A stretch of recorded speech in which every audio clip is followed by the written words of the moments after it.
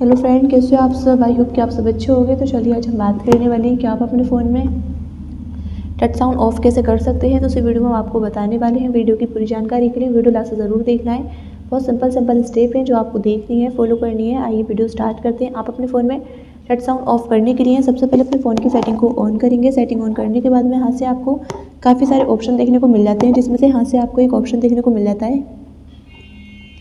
Sound का आपको यहाँ पर साउंड पे क्लिक करना है। साउंड पे क्लिक करने के बाद में यहाँ से आपको एक ऑप्शन देखने को मिल जाता है।